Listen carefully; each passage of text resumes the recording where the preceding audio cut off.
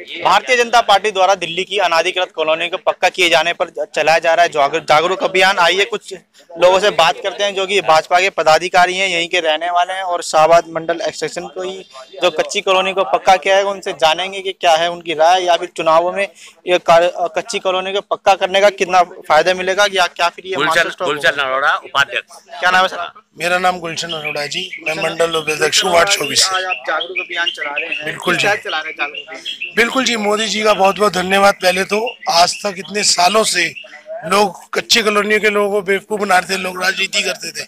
आज मोदी जी ने सत्रह सौ इकतीस कॉलोनी को एकदम पास करके सबके मुँह पे एकदम जो लोग को राजनीति करते थे तमाचा मार दिया।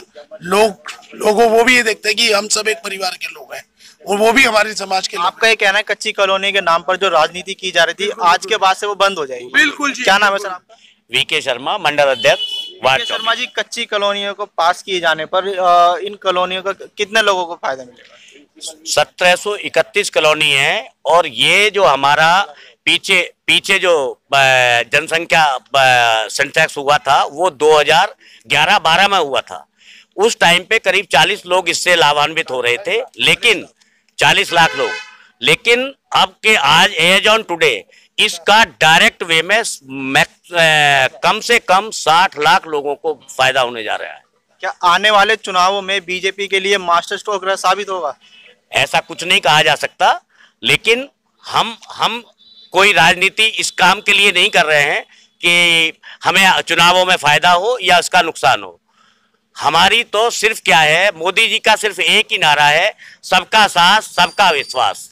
और इस नारे को लेके हम जो आज तक मोदी जी चलते आए हैं, उन्होंने बिना किसी उस चीज़ को देखे हुए, हमारे किसी भी केंद्रीय या हमारे प्रदेश या हमारे ज़िले के किसी भी पदाधिकारी को ये पता नहीं था कि 1700 कलानियों को ऑथराइज करने का तोहफा मोदी जी देने जा रहे हैं।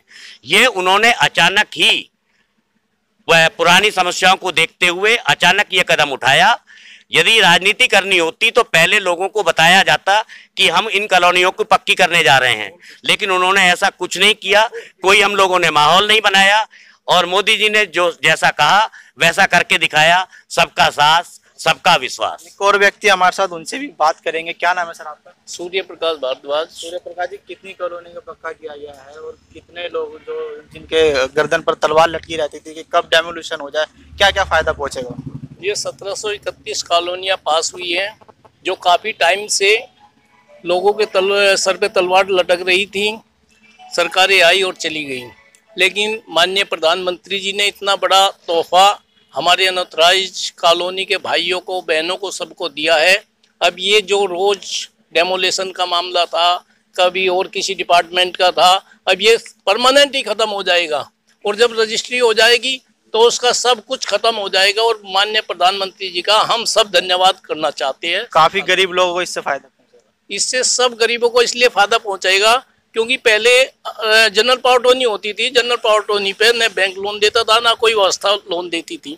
जब आपके पास हमारे पास सबके रजिस्ट्री होगी तो हम रजिस्ट्री अपनी कहीं भी बैंक में भी वैसे भी जैसे हमें किसी गरीब हमारी किसी बिटिया की शादी है या कि कोई हमारा बेटा कोई अच्छा इंटेलिजेंट पढ़ने में है और पैसे नहीं है तो उसके हमें लोन मिल सकता है और वो बच्चा आगे सक्सेसफुल हो सकता है। इसलिए माननीय प्रधानमंत्री जी ने बहुत बड़ा कदम उठाया। इसके लिए सराहनीय है और हम कोटि कोटि उनको नमन करते हैं। इसी क्रम में एक महिला भी मौजूद है हमारे साथ। उनसे भी जानेंगे कि महिलाओं को कच्ची कॉलोनी के पास होने कुछ फ़ायदा मिलेगा या फिर उनकी कुछ परेशानी क्या वो हल हो पाएँगी। क्या नाम है मेरा नाम हर्षी अरोड़ा है और बहुत फ़ायदा होगा सर इस चीज़ का। क्योंकि देखिए ना हर इंसान चाहता है कि अपना एक घर हो।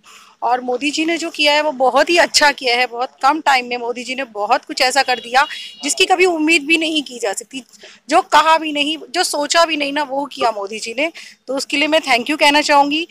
मोदी जी का, मोदी जी ने इंडिया में नहीं इंडिया से बाहर भी जो किया है ना, वो हमारे लिए बहुत ही गर्व की बात है। बहुत ही ज़्यादा। आज हम कहीं बाहर जाते हैं तो हमें मतलब इंडियन लोगों को पहले किस तरह से बिहेव किया जाता था? और आज इंडिया के अगर कोई भी लोग जाते हैं तो आप देखिए विदेश में उनका कितना अच्छा सत्कार होता है ये उन्हें एक रिस्पेक्ट मिलती है। तो उसके लिए मैं हर तरह से जो भी मोदी जी करते हैं उनके लिए बहुत बहुत थैंक यू करना चाहूँगी। और मैं चाहूँगी अगले हमेशा मोदी जी ही रहे हमारे प्रधानमंत्री। थैंक यू थैंक यू एक और व्यक्ति हैं उनसे भी जानेंगे कि क्या लाभ मिल पहुंचेगा। क्या नाम है सर आपका? डॉक्टर सूर्यकांत। डॉक्टर सूर्यकांत जी, क्या लगता है आपको? क्या क्या लाभ मिलेगा कच्ची कॉलोनी का नियमित होने का बहुत दिनों से इंतज़ार थे दिल्ली वासियों के और खासकर दिल्ली गरीब जनता के लिए, क्योंकि कच्ची कॉलोनियों में गरीब जनता ही रहती है।